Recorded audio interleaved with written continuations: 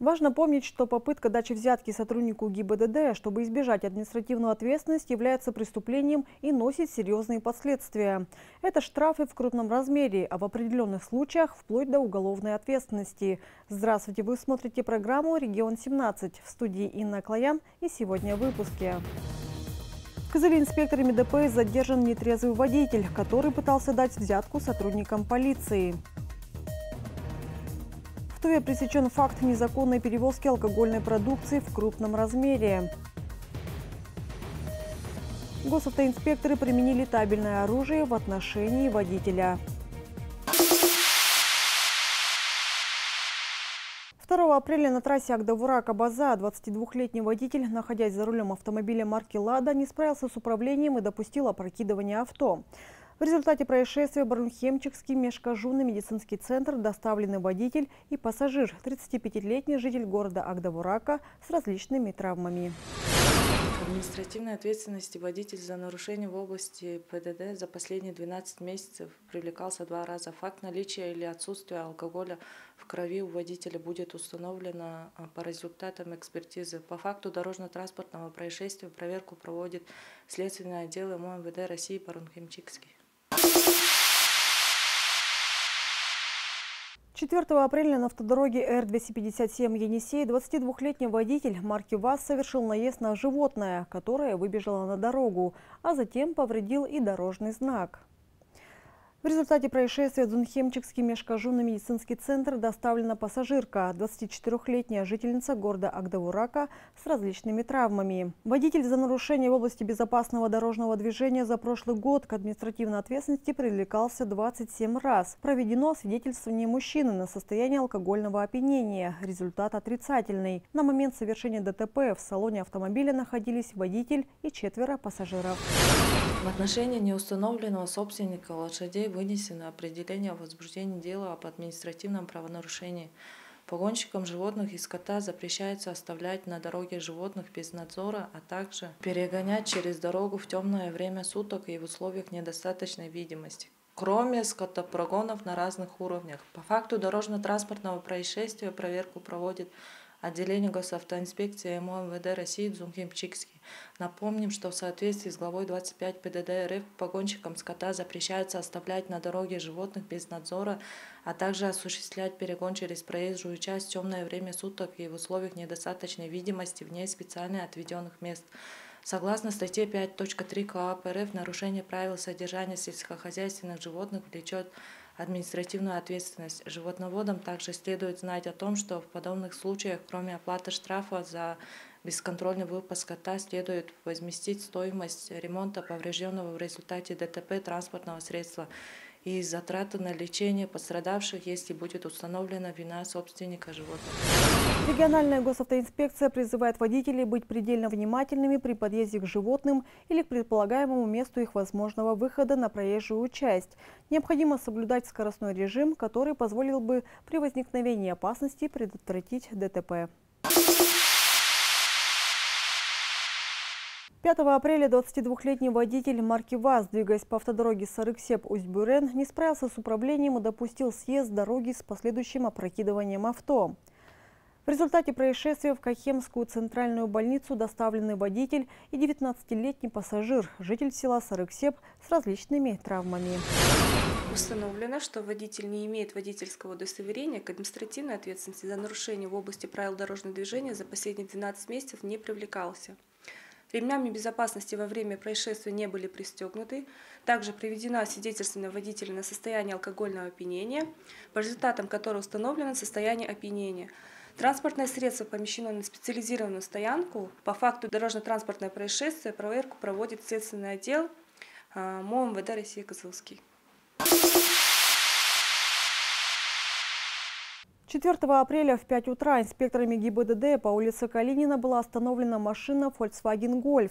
При проверке документов у 28-летнего жителя левобережных дач выявили признаки опьянения и отстранили его от управления.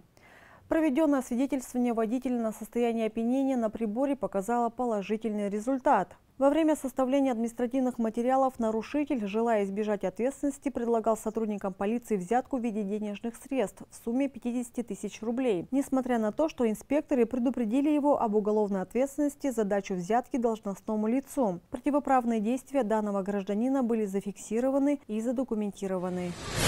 Действиях водителя усматриваются признаки состава преступления, предусмотренного статьей 291 Уголовного кодекса Российской Федерации. То есть это дача взятки. Транспортное средство помещено на спецстоянку города Козулы. В отношении данного водителя составлен протокол а, по части 1 статьи 12.8 Кодекса административных правонарушений, то есть это управление. Госавтоинспекция напоминает, что связанные со взяткой коррупционные преступления влекут уголовное наказание, которые предусмотрены статьями Уголовного кодекса Российской Федерации. Санкции, которые предусматривают денежные штрафы, либо лишение право занимать определенные должности, а также лишение свободы сроком до 15 лет. Напомню, что автопатрули оснащены внутренними и наружными регистраторами, ведущими непрерывную видеозапись. При оформлении материалов по факту правонарушения все административные процедуры осуществляются сотрудником в зоне действия видеорегистратора.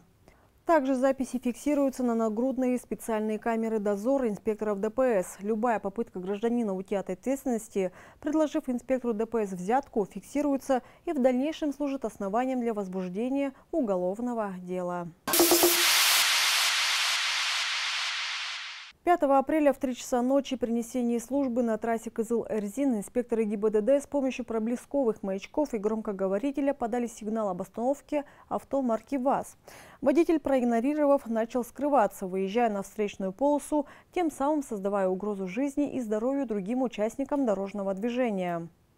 С целью оперативного задержания нарушителя автопатрули начали преследовать транспортное средство. На неоднократные требования об остановке водитель не реагировал и продолжал двигаться. Госавтоинспекторы продолжили преследование автомобиля.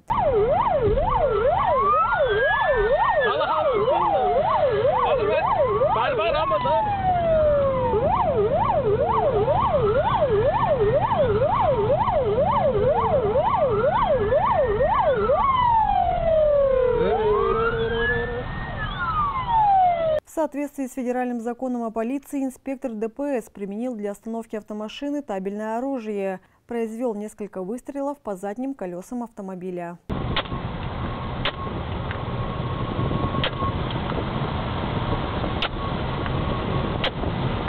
После чего на левобережных дачах водитель остановился. Также в соответствии с федеральным законом о полиции в отношении водителя была применена физическая сила и надеты наручники. Нарушителем оказался 29-летний житель города Козыла, не имеющий водительского удостоверения и от которого исходил запах алкоголя. Также установлено, что мужчина ранее привлекался к уголовной ответственности. В отношении мужчины был составлен административный протокол за невыполнение водителем транспортного средства, не имеющим права управления транспортными средствами, либо лишенным права управления транспортными средствами. А также составлены три административных материала. Транспортное средство помещено на специализированную стоянку города Козыла. 7 апреля госавтоинспекторами на автодороге Кызыл-Сарыксе постановлено авто марки ВАЗ под управлением 37-летнего жителя села Тарахе. В ходе досмотра в салоне обнаружена пивная продукция различных торговых марок в количестве 390 бутылок общим объемом около 500 литров. Проверке документов на алкогольную продукцию установлено, что пивная продукция не внесена в единую государственную автоматизированную информационную систему, что является нарушением требований федерального закона номер 171 о государственном регулировании производства и оборота этилового спирта, алкогольной и спиртосодержащей продукции и об ограничении потребления алкогольной продукции. Пивная продукция изъята. По данному факту сотрудниками полиции проводится проверка для установления и привлечения к ответственности лиц, причастных к нарушению и антиалкогольного законодательства. Региональная госавтоинспекция информирует граждан о том, что незаконное приобретение, хранение и реализация алкогольной и спиртосодержащей продукции влечет административную и уголовную ответственность с обязательным изъятием данной продукции.